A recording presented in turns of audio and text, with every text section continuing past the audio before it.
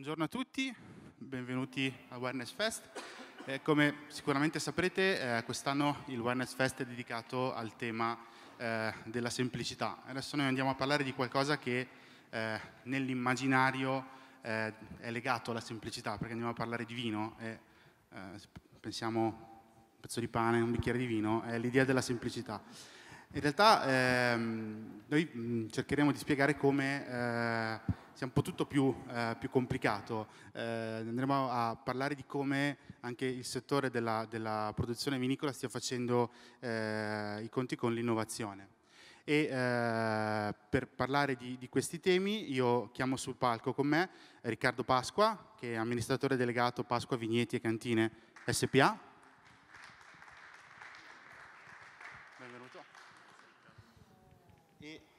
professor eh, Giovan Battista eh, Matti, che è professore di viticoltura all'Università degli Studi di Firenze.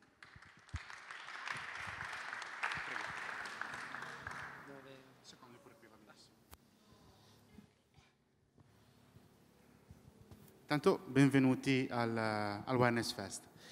Eh, io comincio ehm, chiamando in causa il, il professore.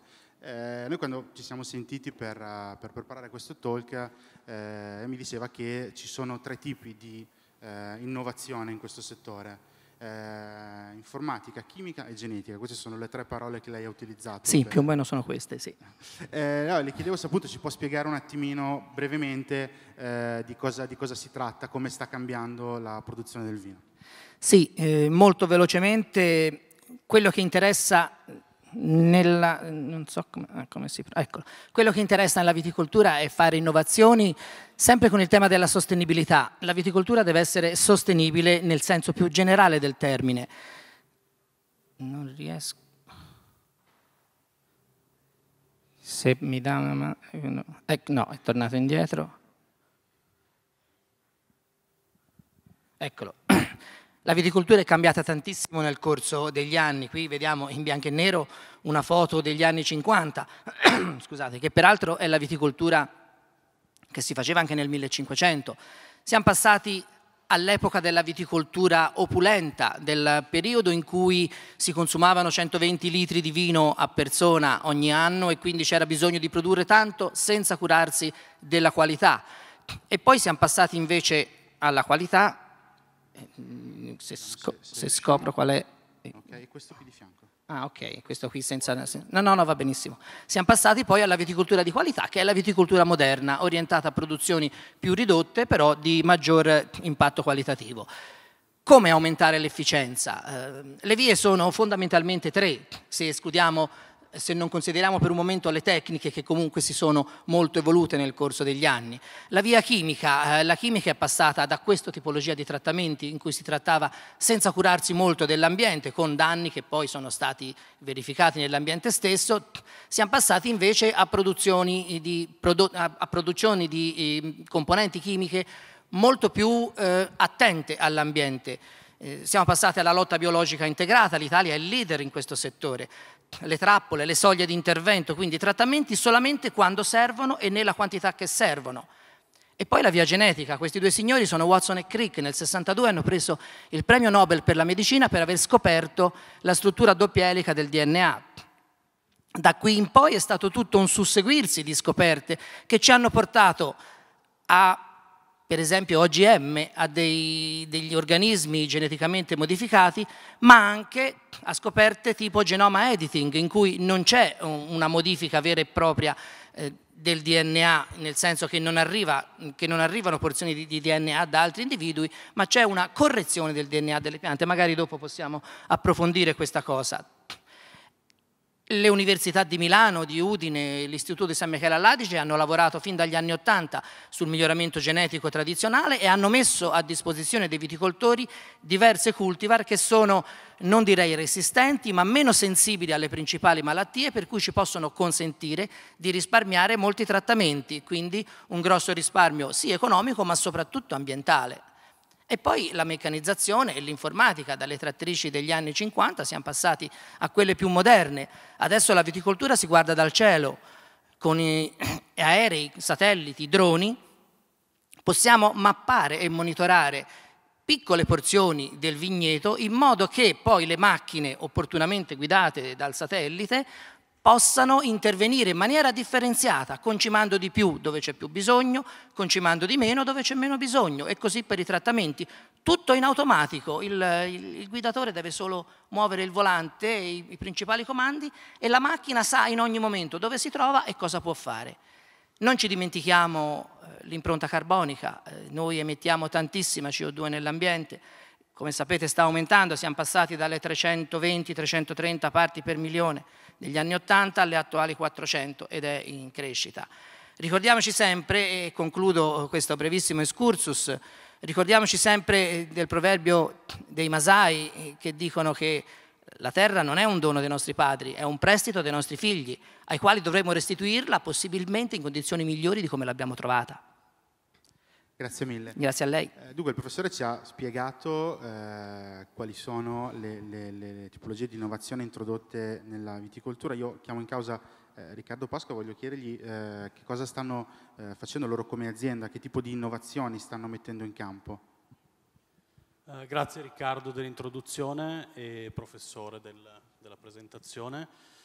stiamo mettendo in campo alcune delle novità che il professore faceva vedere poco fa eh, e quando abbiamo sentito il titolo di questo festival, il tema di questo festival che, che è la semplicità, eh, ovviamente in un ambiente wired molto teso all'innovazione, eh, abbiamo detto perfetto, abbiamo un progetto molto interessante di cui parlare, eh, che innova avvicinandoci, avvicinandosi parecchio a come si faceva il vino parecchio tempo fa eh, e quindi in modo semplice.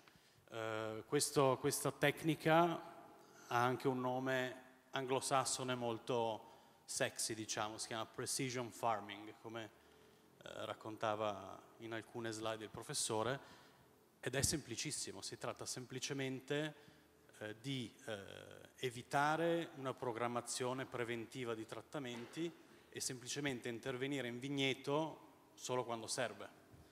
Eh, ora, ovviamente il futuro eh, ci aiuterà con l'utilizzo di droni che hanno delle telecamere ormai ad altissima definizione che riescono a, a inquadrare, a, a, zoomare fino a 3 eh, centimetri quadrati, quindi con una precisione veramente eh, incredibile e quindi a distribuire in modo variabile eh, i trattamenti.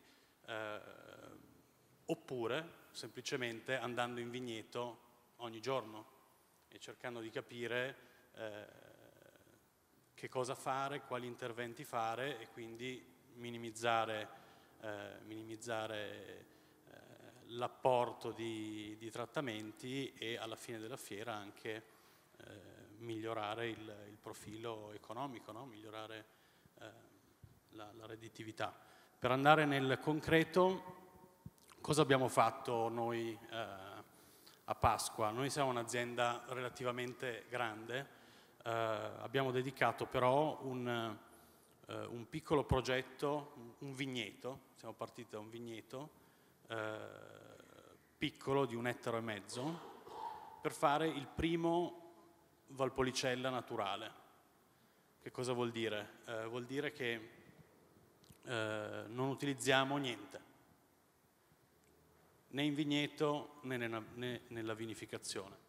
Uh, ovviamente siamo abbastanza, come dire, uh, stiamo imparando questo, questa metodologia, quindi abbiamo chiesto l'aiuto a un esperto italiano uh, che viene dal Piemonte, si chiama Lorenzo Corino, che è venuto a vedere il vigneto e ha accettato di lavorare con noi. È un progetto che appunto è di dimensioni relativamente piccole, è un primo esperimento, eh, ma su cui contiamo, contiamo moltissimo. È veramente, è veramente eh, fantastico vedere come piccoli accorgimenti possono fare la differenza. Per esempio, il professore mi corregga se sbaglio, gli agenti patogeni della vite svernano per terra, sulle foglie morte per terra. Corino dice, se tu tagli l'erba, se tu sfalci quando il clima è secco, la polvere che alzi disperde gli agenti patogeni eh, su tutto il vigneto, quindi sfalciate l'erba quando ha piovuto.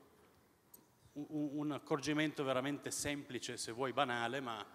Eh, che vi risparmia di dover intervenire. Ti risparmia di dover intervenire e, e, quindi, e quindi, è fantastico. Eh, per adesso la fermentazione sta andando molto bene, usiamo solo tini di legno eh, inerti, quindi per preservare veramente il profilo organolettico del, del vino e, e, quindi siamo molto contenti e, e, di vedere cosa succederà con questo, con questo piccolo progetto.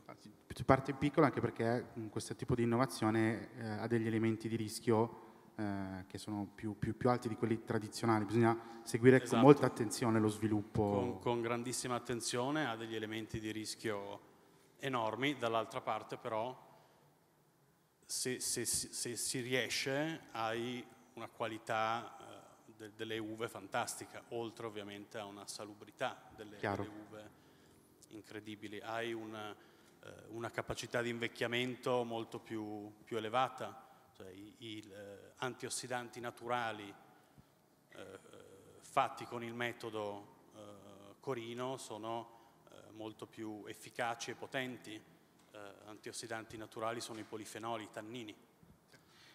Mi interessava capire anche ehm, come un'azienda come la vostra, che gioco forza è legata a delle tempistiche che non detta lei, perché eh, lui va cresce con i, suoi, con i suoi tempi, come gestite il cambiamento? Perché un'azienda so, nella meccanica sostituisce i macchinari una volta che ha fatto l'investimento e ha sostituito i macchinari, fa lo switch off e dal giorno dopo ha questa novità. Invece per voi diciamo c'è un elemento di rischio, ma vuole anche magari dire, so, se si arriverà davvero all'editing genetico, rimuovere filari da, da, da, da, un vigneto, sostituirli, quindi aspettare che crescano, che diano frutti. Quindi è una gestione molto lunga, del, non è un cambiamento immediato. Assolutamente, Beh, il mondo del vino è, è così, il mondo del vino si pensa a lunghissimo termine, solo per darvi un'idea, una, una nuova pianta, professore mi corregga, ci vuole almeno sette anni, 6-7 anni prima che dia una produzione di qualità, quindi sono progetti a lunghissimo termine, però se non iniziamo non... non Ovvio, però ci vuole anche il coraggio di dire anche, cominciamo. Anche per l'ambito dei vini naturali eh, c'è stata un'evoluzione fantastica, cioè, i vini naturali di qualche anno fa non sono quelli, quelli di oggi, vuol dire che pian piano stiamo migliorando le nostre tecniche e il risultato si vede anche nel bicchiere. Soprattutto perché a questi vini ci, sta arrivando, ci stanno arrivando aziende che producevano con metodi tradizionali, quindi sanno che cosa ci deve essere dentro la bottiglia. Cioè la produzione di vini naturali, come di vini biologici, non deve essere una scusa per commerciare un prodotto scadente. E questo le aziende di oggi, che, hanno, che sono i cosiddetti produttori biologici di ritorno, lo hanno capito perché è giusto che ci sia una certificazione di processo, ma ci deve essere in certo qual modo anche una certificazione di prodotto, altrimenti è tutto inutile. Se nelle bottiglie ci metto l'acqua dell'Arno, eh, posso fare tutti i prodotti tutti i processi più naturali possibili, ma poi il prodotto non ha, non ha, senso. Per cui quando le aziende che hanno sempre prodotto mh, vini di qualità tornano indietro, questo, cioè tornano indietro, tornano a questi processi naturali, sanno che cosa ci deve essere nella bottiglia e questo è fondamentale a mio modo di vedere. No, sono d'accordissimo, sì sì, è inutile giocarci, cioè dobbiamo cercare di, di, di renderlo eh, efficace e quindi di avere una qualità del bicchiere che poi può avere un impatto su, sul mercato e può spostare audience anche su, quel, su, quella che oggi è una nicchia molto piccola. Chiaro. Eh, grazie. Eh, citava prima il professore eh, l'editing genetico che è una tecnica che sul piano, eh, è una tecnica di modificazione genetica, mi corregga se sbaglio, Giusto. che sul piano eh, scientifico è diverso da quello che porta alla produzione di OGM, e tanto famigerati eh, OGM. Ehm, sul piano eh, legislativo eh, c'è ancora un grosso punto di domanda, nel senso che eh, negli Stati Uniti si è deciso che sono due cose diverse in Europa ancora deve esserci un pronunciamento da parte eh, dell'Unione, eh, c'è però un c'è dibattito fra, fra, i paesi. Nel 2015 l'allora ministro Martina eh, cambiò la posizione italiana dicendosi favorevole all'introduzione di queste tecniche. Eh, qualche settimana fa, a luglio, la Corte di Giustizia europea invece ha affermato che le cosiddette New Breeding Techniques eh, devono essere assimilate agli OGM, però questa è una sentenza, non è una, una direttiva europea che dovrebbe arrivare a questo punto, credo, col prossimo, col prossimo Parlamento. Io chiedo eh, al professore se in tre parole ci spiega come funziona e poi volevo capire sia da lei da un punto di vista scientifico che da Riccardo Pasqua da un punto di vista di chi il vino lo produce, eh, cosa pensate di queste tecniche, se possono essere interessanti con riferimento a quello che facevamo prima, un filare geneticamente modificato significa tirare su e ripiantare con i tempi lunghi che dicevamo prima. Allora, mh, le due cose sono molto diverse. Il regolamento sugli OGM dice che non si possono coltivare nemmeno per fini sperimentali, perlomeno qui in Italia, eh, e consiste nel staccare un pezzettino di DNA da una pianta, da un individuo, e inserirlo nel DNA di un altro individuo. Fossero anche fratelli, comunque si tratta di un organismo geneticamente modificato, un OGM, e questo è vietato. Il regolamento è abbastanza nebuloso invece per quanto riguarda il genoma editing. Qui non si tratta di inserire DNA proveniente da un altro individuo, ma di modificare eh, il DNA dell'individuo stesso, magari cancellandone un pezzetto. A cosa serve questo? Perché la peronospora attacca la vite e non attacca l'olivo? Perché trova nel DNA della vite una serratura di cui lei ha la chiave e quindi può entrare perché riconosce la vite. Se io gli tolgo questo pezzettino di DNA, o meglio, um, opero quello che si chiama silenziamento genico, cioè il gene non si esprime più, il gene della serratura per così dire, viene spento in pratica, viene disattivato, la peronospora non la riconosce più e quindi, e questo ovviamente è solo un esempio, e quindi eh, la pianta può essere immune da questi attacchi. Bruxelles si deve pronunciare, è, è, da tanto tempo che ci sta lavorando, perché credo sia più di un anno che ci sta lavorando su questo eh, su aspetto. Io personalmente non voglio dire che sono favorevole a coltivare tutti gli OGM di questo mondo o tutte le piante geneticamente modificate, però le voglio studiare.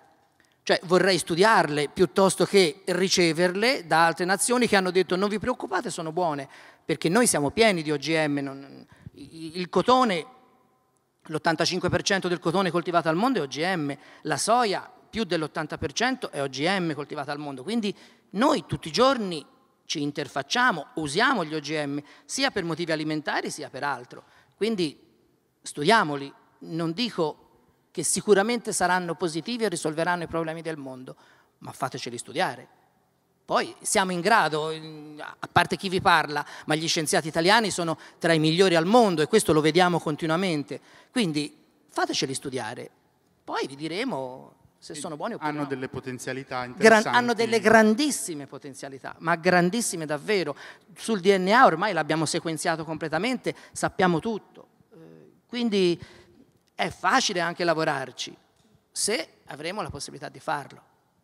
Grazie. Invece chi deve fare i conti anche con l'aspetto di, di, di, di, marketing e quindi deve eventualmente produrre e vendere un vino eh, che viene da uve geneticamente modificate, come, come, si pone di fronte a queste nuove tecnologie? Beh, prima di tutto pensiamo a, agli effetti che questo potrebbe avere. Cioè immagina di togliere completamente da, dalla viticoltura qualsiasi utilizzo di fitofarmaci, fantastico non devi fare più niente, sai che resisterà eh, a, a ogni problema. Bene, però cosa vuol dire? Vuol dire che se non c'è una regolamentazione molto ben precisa, eh, pianti vigna dappertutto e quindi cosa vuol dire? Che eh, sconvolgi la biodiversità di, di, di una zona, che, che, è una cosa eh, terribile. Oppure, e questo cosa vuol dire?